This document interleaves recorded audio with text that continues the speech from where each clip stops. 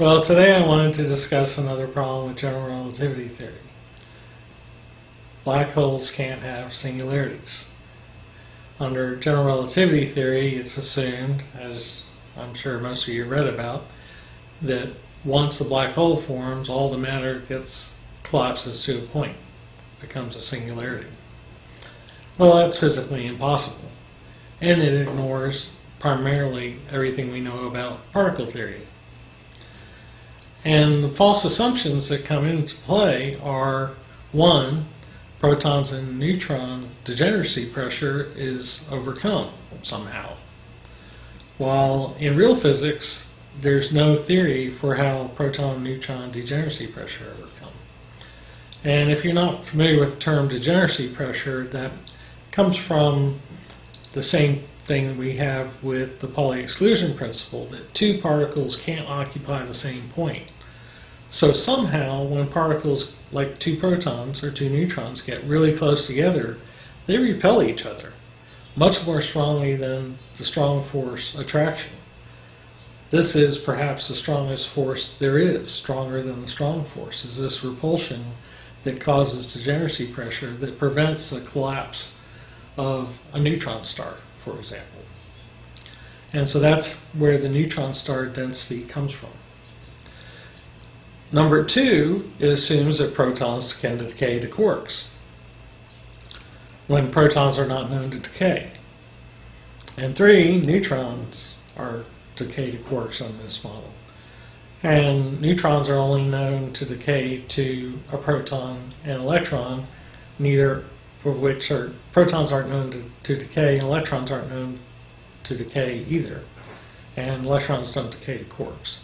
So how you turn electrons into quarks, I don't know. And you certainly aren't going to turn the protons into quarks because protons don't decay into quarks. They may be, under the standard model, composed of quarks, but they don't decay into quarks. And four, it assumes that the proton and neutron mass isn't lost, that somehow magically the particles can disappear but their mass is still there.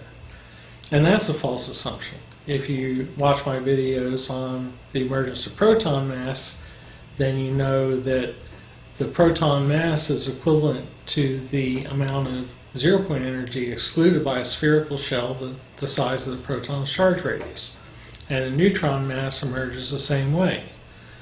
So you can't have the mass still be there if the proton shell disappears.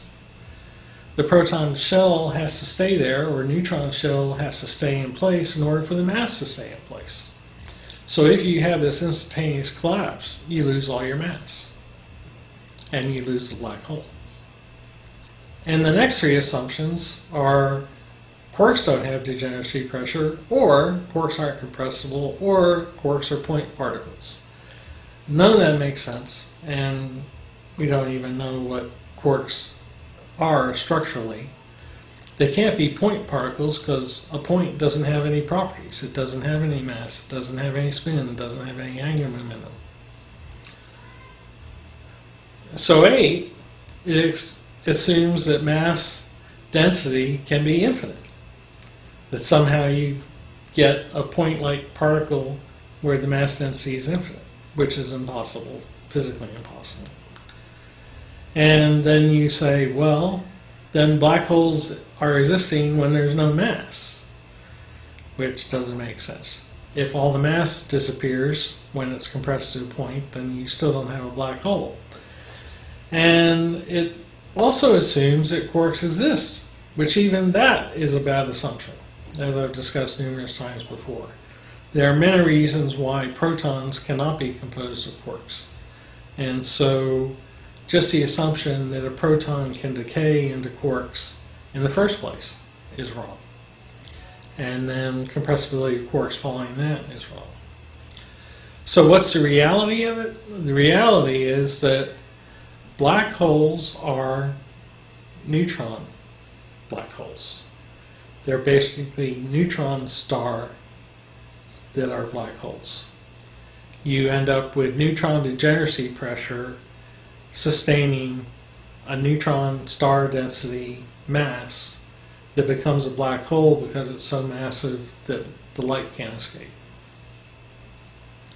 That's what, in under a serious combination of particle theory and relativity theory, that's what you get. You get a big neutron star that doesn't allow light to escape. Now there's additional problems that protons and electrons must be able to annihilate. And this may happen within black holes. And the reason for this is that if you have an infinite universe, infinite in time, if you have proton electron production happening, if there wasn't some form of annihilation as well as production, then the universe would be saturated with protons and electrons. And so we know that protons and electrons are produced, so there must be a mechanism for protons and electrons to be destroyed as well, although they don't decay individually. So it must be something in combination. And like I said, this might happen within black holes. And if it happens, then the mass inside the black hole is lost when the protons and electrons annihilate. So once again, we have a problem when you have collapse. If the matter, if the protons and electrons or neutrons are destroyed, then you end up with no mass. And if it happens all at once, you have no black hole. So the whole general relativity theory of black hole needs black holes need to be rethought and done over again. Well, I hope you enjoyed this video, and if you did, please like, share it with your physicist friends, and subscribe for my next videos. And if you'd like to learn more about quantum field theory and some of my work that I'm doing on relativity theory, you can read about it in one of my books. And if you buy one of my books, that also helps me in my retirement, since I'm a retired physicist living in the Philippines. And so I would appreciate if you would help me. Uh, and hopefully you learned something from my books. So thanks for watching.